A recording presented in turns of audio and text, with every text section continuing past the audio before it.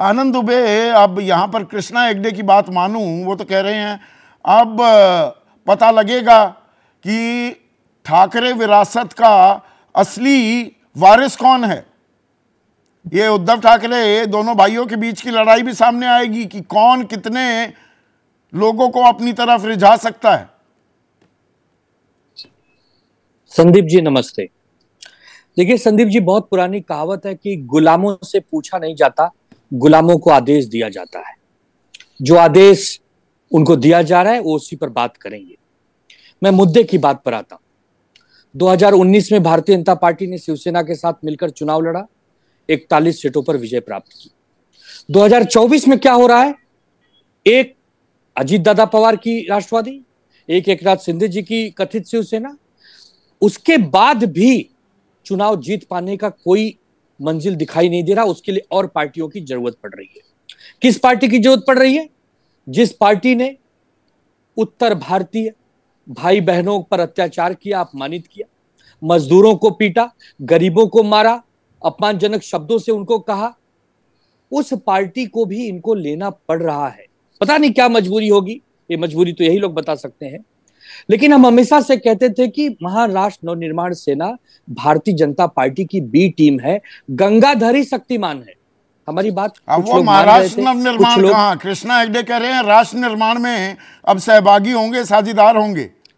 राज ठाकरे। जी उनकी उनकी पार्टी का मैंने नाम लिया है जो नाम है वो मैं ले रहा हूँ। लेकिन हम हमेशा से कहते थे कि गंगाधरी शक्तिमान है। आज इस बात की कलई खुल गई कि हम जो कहते थे वो सत्य है।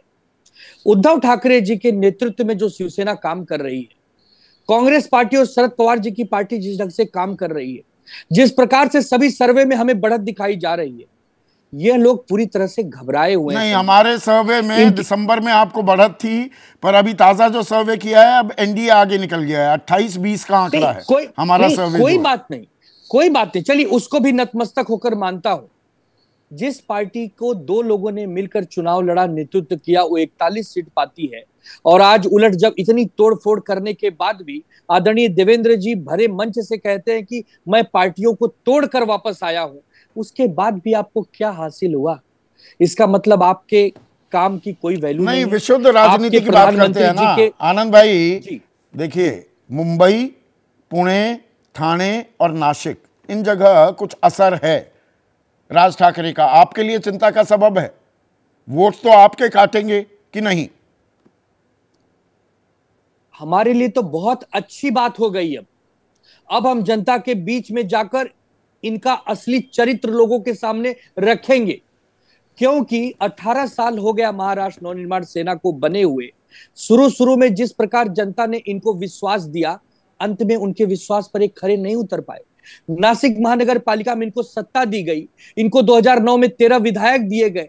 उसके बाद इन्होंने पूरी तरह से जनता के विश्वास को एक प्रकार से खो दिया। तो जिस पार्टी ने जनता के विश्वास को खो दिया हम जाके जनता के बीच में इनके बारे में बात करेंगे। भारतीय जनता पार्टी के बारे में दोनों तरफ़ से तालियाँ ठोकी जा रही है। क्लाइड क्या कहते थे? क्या कह रहा है ये महाराष्ट्र का रण? ये जो 48 सीटों का गठबंधन अब राज ठाकरे की भी एंट्री होना। क्या कहता है ये महाराष्ट्र की राजनीति को लेकर 2024 के चुनाव को लेकर? सुनील जी मैं बात कर सकता हूँ अभी? मतलब काफ़ी देर से आपकी प्रतीक्षा कर रहा था। हाँ हाँ बोलिए ना।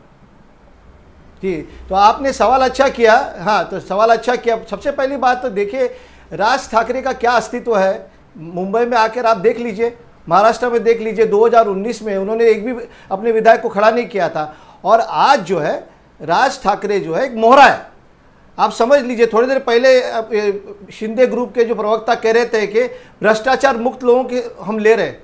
मैं उनके बात से सहमत हूँ। आश्चर्य की बात नहीं, जो मैं उनसे सहमत हूँ, क्यों सहमत हूँ? कि इन्होंने सब भ्रष्ट लोगों को अपने साथ लेकर उनसे, उन्हें धोकर भ्रष्टाचार से मुक्त कर दिया।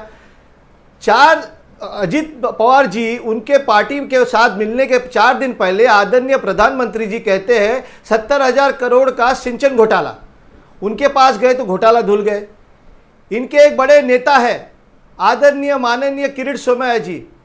किसी के ऊपर भी हाथ लग कर रख देते हैं। और कहते हैं कि भाई ये भ्रष्टाचार है का जो काम कर रहे हैं तो वो जो आकर बीजेपी में शामिल हो जाते हैं वो साफ़ सुनकर बाहर आ जाते हैं।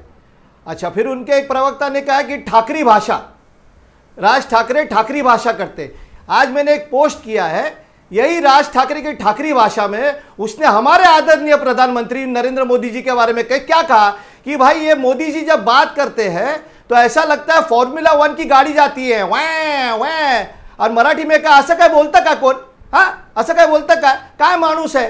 ऐसा कहते तो ये आदमी को ये सब लेकर शामिल करते हैं। तो कहने का मतलब तो क्या ये राजनीति का सामदाम दंड भेद है ना क्लाइड?